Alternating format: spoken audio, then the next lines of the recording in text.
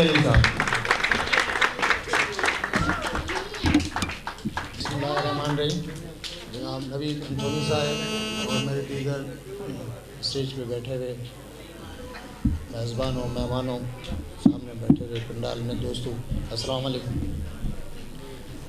محترم الیکشن میں بھی ہم یہاں آتے رہے، آپ سے بات ہوتی رہی۔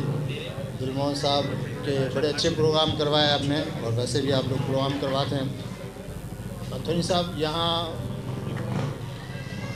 سجائی کیا بولتے ہیں اس کو اردو میں؟ وہ تو ہے مطلب اویئرنیس تو ہے، لیکن ان کو اب رہنمائی کی ضرورت ہے اور ہم کہتے ہیں آپ جیسی رہنمائی ملی ہے تو مزید انشاءاللہ ان کے مسائل بھی حل ہوں گے۔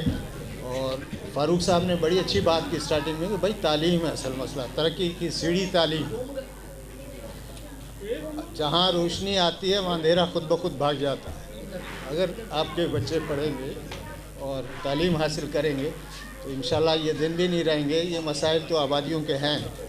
اور دوستوں نے حل کرنے ہیں، بشارت بٹی صاحب یہاں پروگرام کرواتے رہے ہیں، میرے اور سارے دوست بیٹھے رہے میں شکر گزار ہوں ان کا کہ علاقے کے مسائل کے لیے بھی گونا کو ان کی کوششیں رہی ہیں۔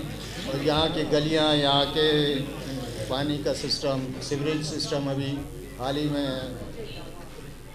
بنایا گیا ہے۔